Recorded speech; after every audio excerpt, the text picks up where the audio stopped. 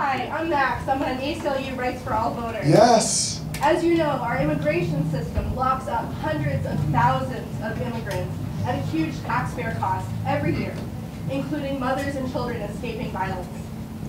If elected president, will you commit to decreasing detention by 75% or more by the end of your first term? So you, you're talking to the guy that's the loudest voice in, in the Senate for decreasing detention everywhere. Not just for undocumented immigrants, but also people who are uh, American citizens. Because we lead the planet Earth in incarceration. We're 4% of the globe's population, but we have one out of every four incarcerated people on the planet Earth are here in America. And I've visited a lot of these detention facilities for undocumented immigrants are private prisons, and I stand solidly against private, private prisons in America. And I think we should understand what she's talking about because she's not just talking about the moral vandalism of separating families at our border. We're having people coming here to present themselves for legal asylum and either being turned away or put into detention facilities that do not reflect their dignity and often compound their trauma. She's also talking about what's happening all over in this country where we see people who are, who are grandparents of American grandchildren, who are spouses of American citizens, and they are being separated from their families and put into detention and deported. We've had situations like that in, in New Jersey that rose our entire state's consciousness by saying, how could you do that? Taking somebody and deporting them for a traffic violation a decade or two ago and separating them from their families. I was in Nevada with a group of immigration activists, and a teenage girl talked about her and her friends that one of them was assaulted, and they were afraid to go to the authorities to report the assault because their parents were undocumented, and they knew if they reported the assault, the parents would have to show up, and they might have their parents deported. Think about what we're creating. We're creating a situation that in my city of Newark, the immigrant community that used to cooperate with our local police to talk about crimes or robberies, now they're afraid to go to the local police because they're fear of getting deported. When you compromise your values in the name of security, you will lose them both security and your values. We can have, and we will have, if I am your president, an immigration system that reflects our values, that elevates the dignity of all humanity, that keeps us safe and secure by having real pathways to citizenship for the people that are in our country, that deals with our DACA kids as they are, which are American citizens in every way except for a piece of paper, that honors people here who on temporary protective status, not sending them back into crisis zone. We can have an immigration system that achieves our values. How do I know that? It's because for generations in this country, we've been a nation of immigrants. That's what's made us strong in the past. It's what's going to make us strong in the future. Sir. My name's Bill Stump. This is my son Kyle Stump. Right. It's nice to meet the stumps when I'm on the stump. I'm sorry. The last, the last dad joke, maybe my last dad joke, but nice to meet you, Mr. Mr. We're a Stump. team. Uh, Kyle lets me speak for him. He's not real verbal, but he's a hard worker. Kyle is employed in competitive employment in the community. He makes above minimum wage. For four years after high school, he worked in a workshop and was paid sub-minimum wage. It wasn't a bad thing, but it was sub-minimum wage. The unemployment rate, and a lot of people may not know in this country for people with disabilities, is 8%, which is obscene in, in a time of low unemployment. Uh, those were 2018 figures. Uh, my question for you is, would you support uh, removing 14C certificates from the Fair Labor Standards Act that allow for places to pay sub-minimum wage? In fact, I haven't ask. There's a bill in the Senate right now, S-260, and they need co-signers. Would you commit to co-signing that bill? If, if the bill is to do exactly what you say, which is to deal with that provision of 14C that allows sub-minimum wage, uh, then I commit to you to signing on to it because I've been looking at this issue for a long time. We should not have sub-minimum wage uh, for our beautiful children or beautiful people uh, who have special needs and, and disabilities. So you have that. Thank you very much. Thank you. And, sir, I, I just want to tell you one other thing, if I can. One other thing, if I can, is um, we need to have education systems that, that are fully funded to deal with special needs education. And if I'm, your- if I'm your president, I commit The federal government is not fulfilling its requirements. It's putting tremendous pressure on schools. If I am your president, I will fully fund special needs education for our public schools. That is my fight. That's what we'll do. All right, in the middle, in the back, by the bar. Are you raising your hand to say, Booker, I got two for you? Two, two, oh, two, I thought two beers is what you were talking about. No, I, I don't drink, so that's all right, but go ahead. Okay, first question's about defense spending. How can we afford education? How can we afford infrastructure? How can we afford environmental programs, energy programs, transportation programs, anything when we're spending $27,000 every second, every day on war and war preparation? Are you committed to radically reducing our defense budget? Is my first question. The second question is our commitment to Israel and how we're giving the average Israeli family $23,000 a year while we're slaughtering Palestinians. We're demolishing 500 homes. This weekend, this weekend, we're demolishing 500 homes in Jerusalem and cutting down their forests. We're destroying their lives. And it's a humanitarian crisis that we are participating in. Blood on my hands as an American. What's your commitment to Israel and to creating justice for the Palestinians, for which we are a, a huge part of their demise? So two, two questions, let's deal with them separately. The first on the defense spending, we are spending unconscionable amount of money in foreign interventions that we should not be in in the first place. And this isn't just the trillions of dollars that were spent in Iraq. Most people in this room know that we're in foreign engagements we shouldn't be in. For example, we were refueling our military planes. We were refueling the Saudi planes that were then going and dropping American bombs on children in Yemen literally tens of thousands of children in Yemen were being killed, cholera outbreaks, famine, and we were spending taxpayer money doing it. Do you remember any president coming to Congress asking for the authorization of for the use of military force for that? Not at all. I'm going to stop those unnecessary military engagements that rack up tremendous debt we're spending on our credit cards to do things that we shouldn't be doing in the first place. But more than that, our military, if you read the Inspector General reports, is a trail of financial horrors. We see a, a corrupt or broken systems that are allowing big, big contractors to abuse procurement imperfections uh, to make lots of money at the expense of proficiency, efficiency, and our taxpayers. I commit to you to attacking that problem to create tremendous savings. And then the final thing is, I'm a guy that believes, like this president's former Secretary of Defense, that diplomacy, that, that foreign aid in, in, in crisis areas, he literally said, if you cut those things, then buy me more bullets because it creates more problems for the future.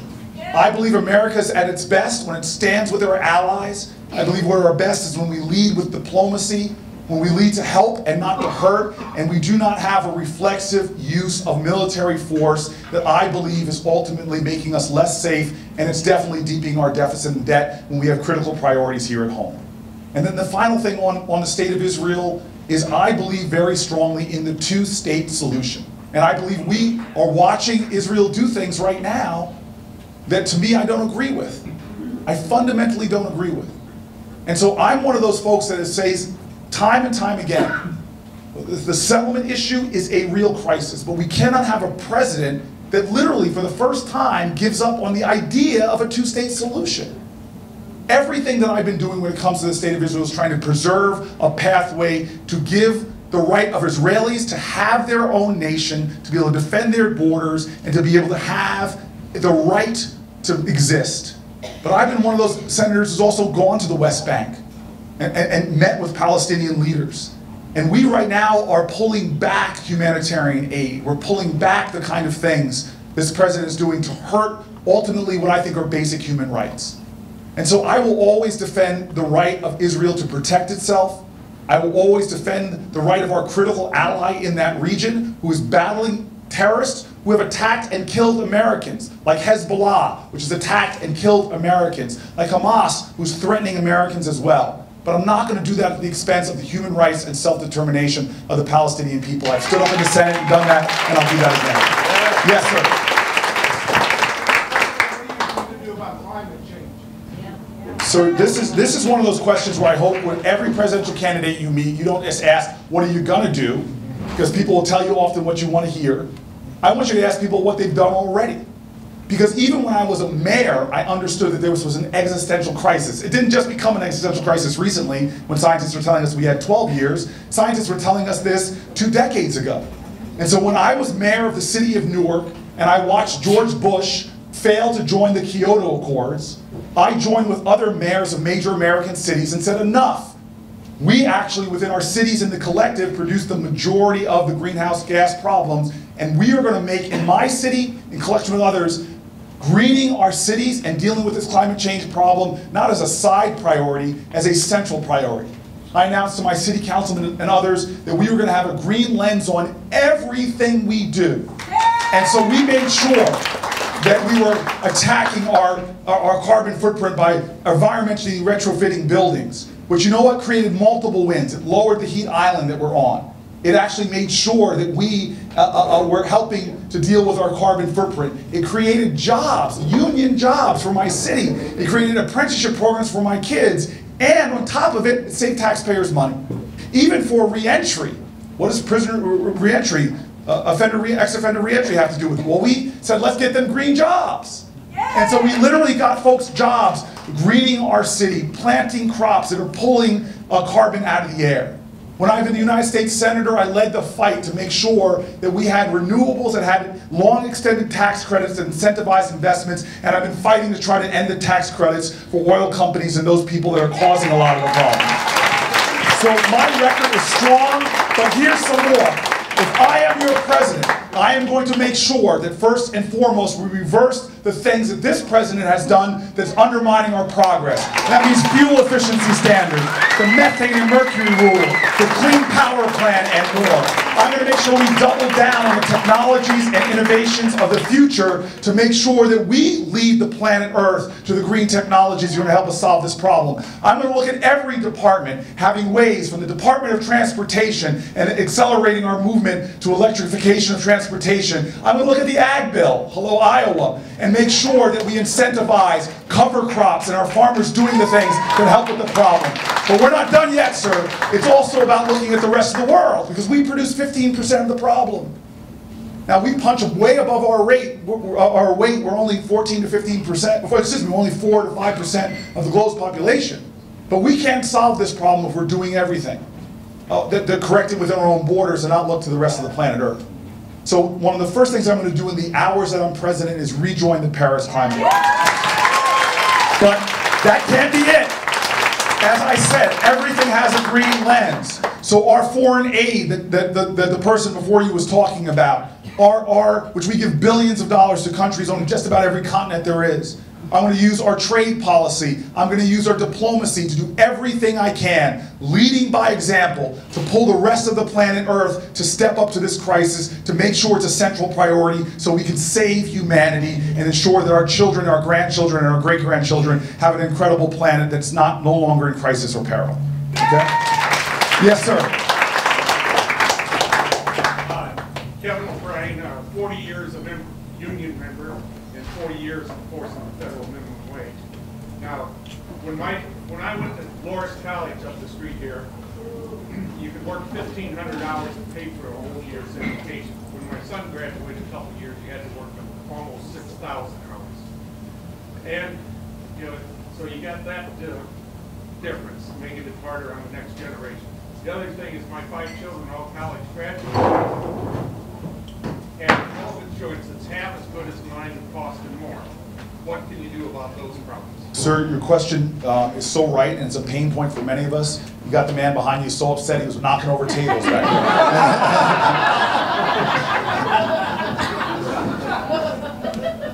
there. the, the very bargain of our of our economy has has been has been tilted away from working people. Let's just be very blunt about what's happened to the American economy. My dad's generation, you work a full-time job, even if it's minimum wage, you're above the poverty line. Minimum wage hasn't kept up with, with, with, with, with the poverty line. Now you work a full-time job, you're below the poverty line. One of my friends, Natasha Laurel, I wrote about her in my book, working at an IHOP, catching extra shifts, couldn't support her family, needed food stamps, needed housing subsidies just to get by. We must make this in America where someone who works a full-time job can provide for their family. And there's lots of ways that we can do that. And I'm going to do that by things like my RISE credit, that if you're working in America and you're a working family, that you are not going to see tax breaks going to the wealthiest Americans. I'm going to roll back these toxic Trump tax credits, tax breaks to the corporations and the wealthiest, and I'm going to make sure that we give every American a massive increase in the earned income tax credit, but not just a maximum increase.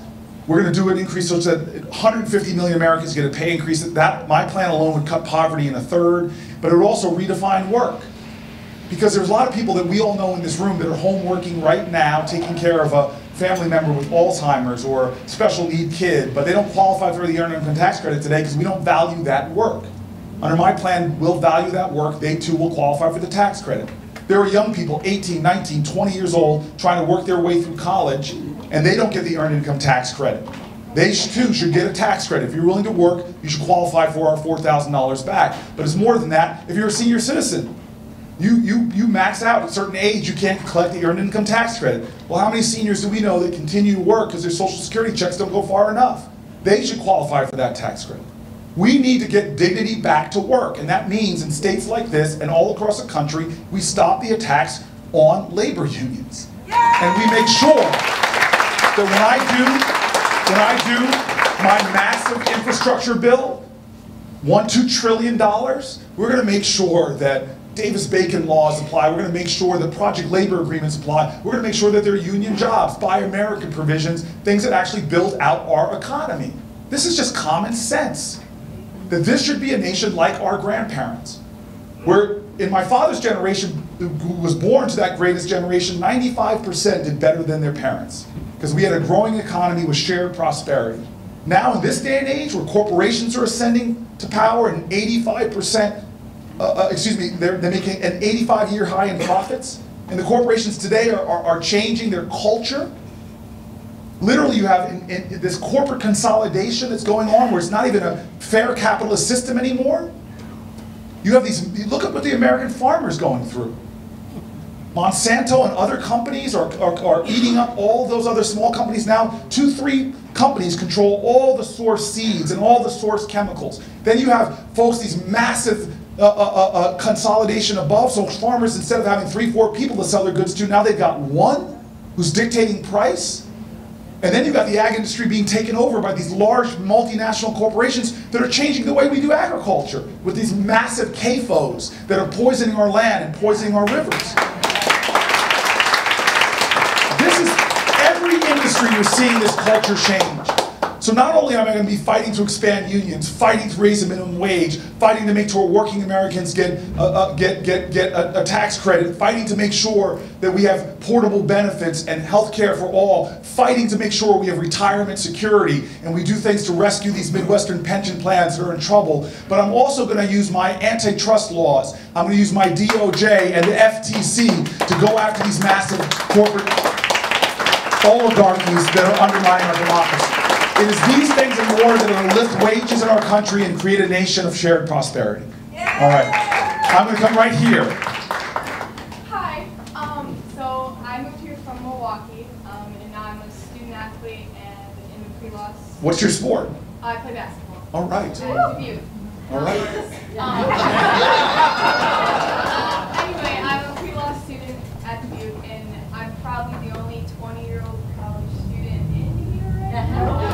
No, some more. There's some more. Anyway, my question is, how important is my generation, or how do you get people from my generation to actually start caring about all the problems that you're talking about? Because a lot of them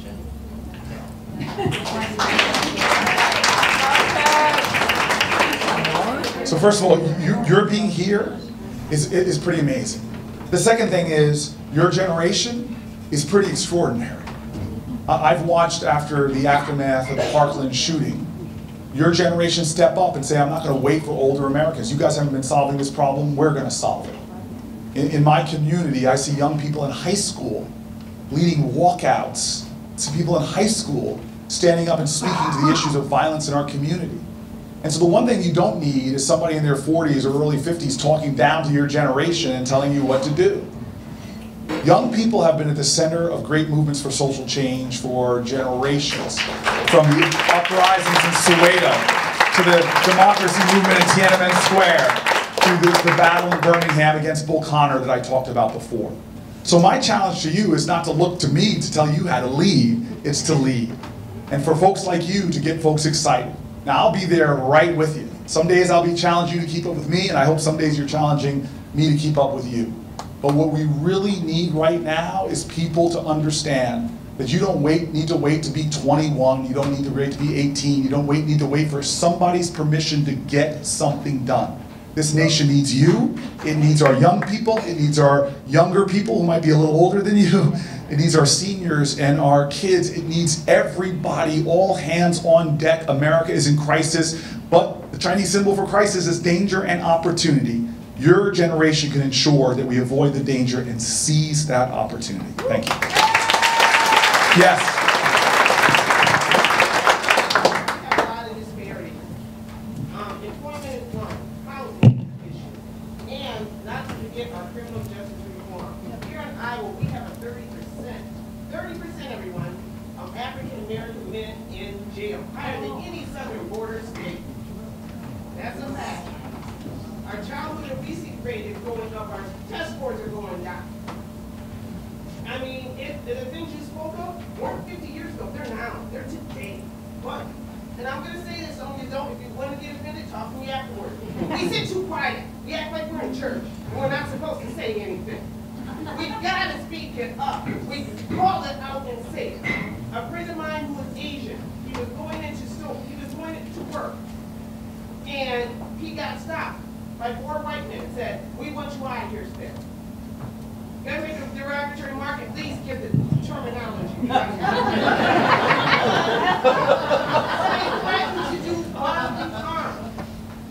Our mosque, before they built the mosque, where they were worshiping, was vandalized four different times. And gun violence here, there's shots fired all the time. We're not told about. There hasn't, fortunately, there hasn't been a shooting at African-American male. I'm saying when, not if, because it's gonna happen. We have too many, too much. What's your What's your name? Lynn Sutton.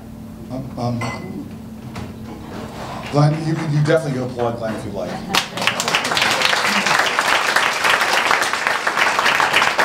Um, Glenn, we all come from traditions where people stand up and speak truth to power and speak truth uh, about our experience. It's the only way we can expand empathy and understanding.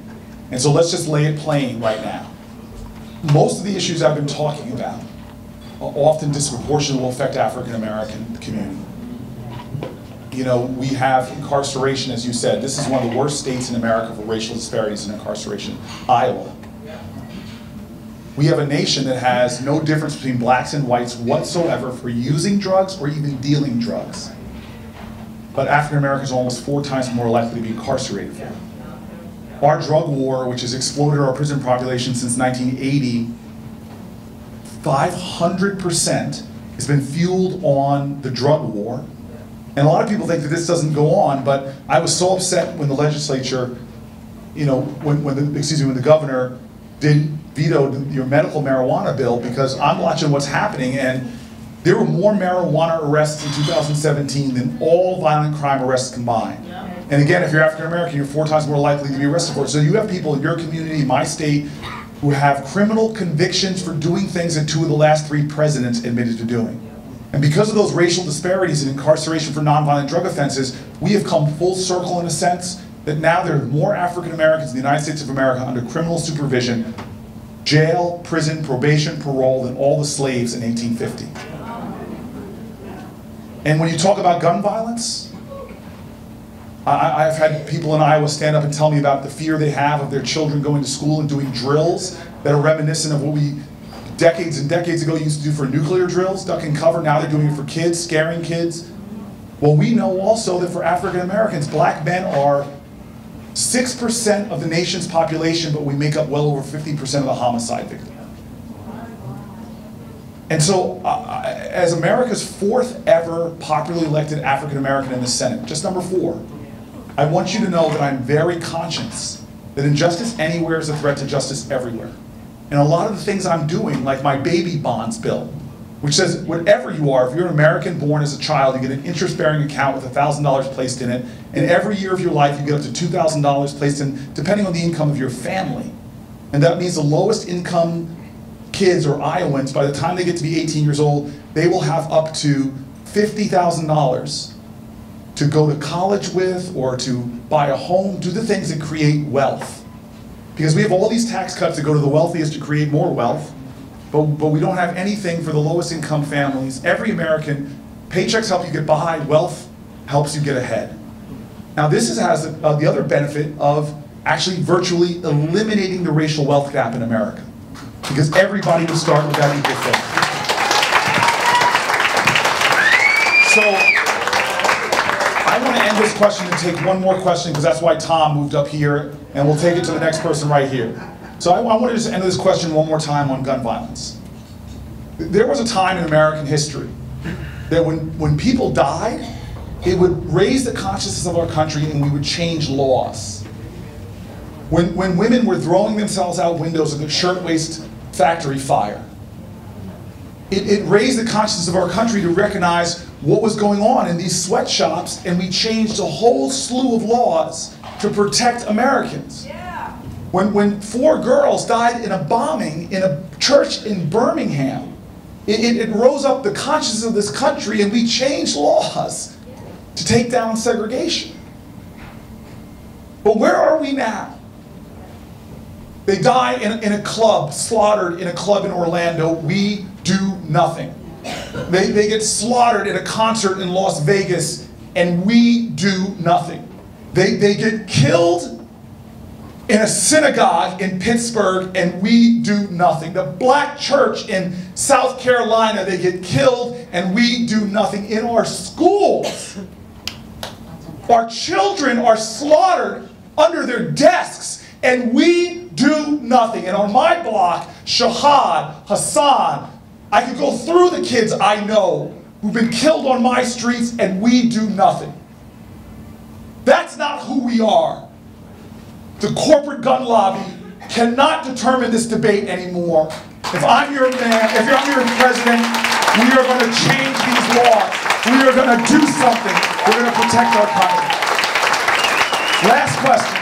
Last question. Now, I'm not, I'm not running away. I told the people upstairs I'll stick around if you have questions directly for me. I'll answer them. I'll take selfies. I'm not leaving right away. So we're going to answer this question, then I'll close. And then, by the way, before you ask a question, can I just say to you, thank you very much. She, she, gentlemen, I love you because you all applauded, but they were doing. Could you give me the sign language applause, please? All right, and give her one of these. It's thank you in, in sign language if you can. Thank you. Yeah, she's been amazing. I haven't really given her that much rest. no.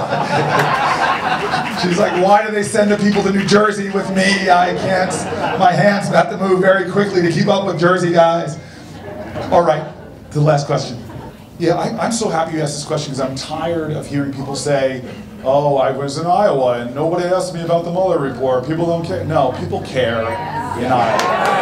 Yeah.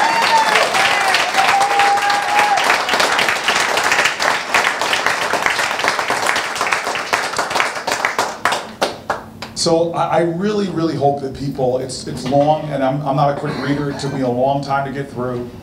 Um, please, please read the Mueller report because it, it, it, it documents outrageous misconduct, lie after lie, deceit after deceit. A president ordering his corp counsel to White House counsel to manufacture evidence.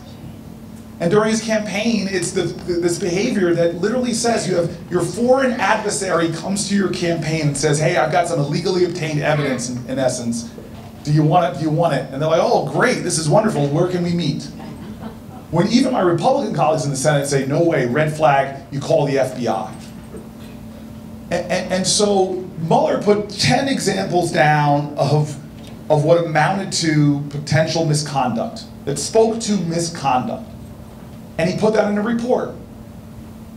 It is the job of Congress now, which is supposed to be holding the executive accountable, to continue that investigation. And I think that we need to have, you know, Mueller before Congress. I think we need to have the unredacted report. I think that we should do all of these things. But now here's, here's the pickle. And as a vegan, I love vegetable puns. Um,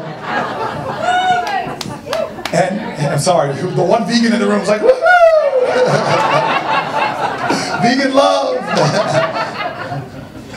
um, this is the, this is the challenge we have right now for our democracy, is the, the, the House of Representatives started doing the right thing and starting to investigate these things, and then the president stonewalled them.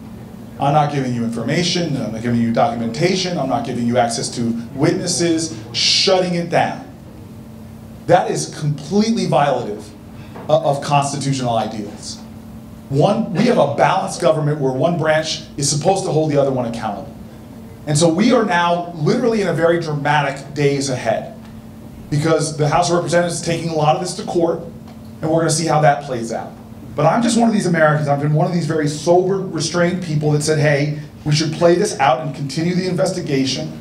But I'm telling you right now, a lot of us are, are, are getting to the point now where I think these coming days are going to be very telling. A lot of us are getting frustrated, and so I'm just going to tell you where I stand right now. Everything is on the table.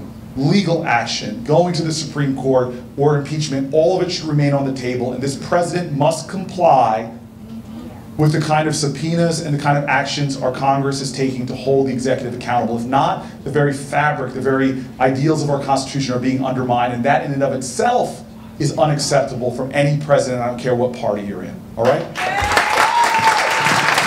Okay, so, two two goals I said I had.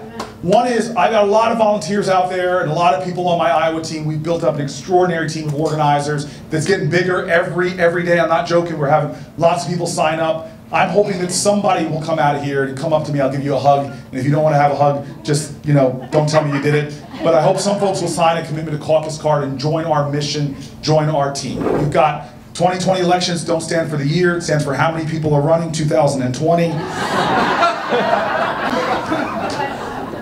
But no, nobody you're going to find with my unique resume that was both the chief executive of a state's largest city in the middle of a crisis that was known for decay and corruption, that we turned it around. Nobody also has that combination of being the United States Senator that passed major pieces of bill working across the aisle. But, but, but also somebody that wants to stand up unapologetically and talk to the spirit of, the aspirational spirit of where America has to go. I'm going to speak about that everywhere I go. That's my goal. So hope to get some of folks here, join me, maybe some folks here sign up anyway, say I want to learn more, I want to sit down with some folks. But that's not my highest goal. I want to return back to that. And that's where I want to end with everybody. Because at the end of the day, it's not about one person. It's about us. And, and what I worry about, and I really worry about this, my dad used to tell me, boy, you drink deeply from wells of freedom and liberty that you did not dig. You eat lavishly from banquet tables prepared for you by your ancestors. Boy, don't sit around getting dumb, fat, and happy, consuming all your blessings. They should metabolize in your body so that you get out there and work, because you can't pay those blessings back, but you got to pay it forward. And, and, and this challenge of my life is really, I know the family traditions of all of us. I don't care what your background is, all of us understand that every generation of Americans have to take the blessings of this nation that were earned by past generations, and we have to earn them all over again, or they'll be taken away from us easily. At the end of the day, the principles and the documents we were talking about in this last question, as the great Judge Learned Hand said, they're only as valuable not because the paper they're written on. Lots of countries have noble constitutions that have failed governments. Our constitutional documents are only as good as long as those principles live in our hearts and are reflected in our actions. This is not, don't let this election be small. Please, this is about my major goal. Don't let people tell you the best we can do, and we gotta find a guy that can, or a woman that can beat Donald Trump. Please. Uh, We're bigger than that. That's the floor. That, that is fundamentally the floor, but it's not the height of our aspirations. Get someone can beat Donald Trump, but let's get someone that can join with all of us, taking responsibility for our country and charting a bolder, bigger destiny. And that's why I want to end with this. There is a place in Memphis, Tennessee called the Lorraine Motel where Martin Luther King was slain, to the gentleman's question, he showed up there for workers' rights. And, and at that spot where he was killed, for those of you who've not been there, if you look down, you will see a block of stone with words from Scripture written on it. Now, I'm not up here to, to, to preach. To, I, I'm one of these, gu- these guys, one of these Christians that would much rather hang out with a nice atheist than a mean Christian any day of the week. Um, God bless America. Uh, I'm most soulful people I've met are folks that don't ascribe to religion. I'm one of these people who says, before you start telling me about your religion, first show it to me and how you treat other people. And, and but, but, but this is actually not about religion, even though I'm going to quote to you words of scriptures. It's actually about a challenge to Americans. Why did they choose to put these words of scripture there where Martin Luther King was slain so that everyone would come after, the living would see a challenge to all of us? And what are the words? They're the words of Joseph's brothers. Joseph was the guy with the coat of many colors. Joseph was the guy that interpreted dreams, was favored by his father. His brothers were jealous. The words that Joseph's brothers uttered before they grabbed Joseph and they threw him into the pit to die. But he wouldn't die in the pit. He would rise on up and go lead a nation through crisis. He would lead Egypt through crisis. Now, we are a country that's in that pit right now. We're in that pit. You see it in Iowa because public education is under attack. We're in that pit right now because our inheritance of the best infrastructure on the planet Earth now has trillions of dollars of infrastructure debt. And kids in this state don't even access to broadband in many communities. We're in that pit right now because there's a veteran who's come home, who's struggling, who's not here right now, who's struggling with mental illness, thinking about suicide, and they're struggling alone, not in a nation that is stepping up for them as we should. They're, if one American is in the pit for unjust reasons, we're all in the pit. And so, what did they choose to write where Martin Luther King was slain as a message to all of us Americans who would have to carry on this nation? This is what it says where King was slain, and my final challenge to everyone here. It says, the words of Joseph's brothers Behold, here cometh the dreamer. Let us slay him and see what becomes of the dream. What will become of our dream? The dream of America. The dream on this Memorial Day that we recognize that Americans from the beaches of Normandy to, to Iwo Jima, that Americans died for, what will become of our dream? That black and white, Christians, Jewish, all Americans like Goodman, Cheney, and Schwerner were willing to give their lives for, like in Mississippi when it was burning. What will become of our dream? Will it become diluted? Will it become diminished? Will it become divided against itself? What will become of the dream? And I tell you, we all have to answer that question. We in our generation, like generations past, have to say, I too dream America. I will take responsibility for the dream. I'm not going to wait for someone else. I will stand and make sure the dream stays alive, make sure the dream lives, that I will stand up and reclaim the dream and dream anew and make it a bold dream, a daring dream. In the face of opposition, I will make it a defiant dream once again. And I'm here to tell you right now, in this moral moment, that's what America needs, not small thinkers, not people looking at this election about just one person in one office. Now it is time for big dreams and bold actions. And if we dream like that, and stand like that, and love like that, then we will not remain in the pit. But America, we will rise. Thank you, everybody. Thank you. Thank you. Thank you very much.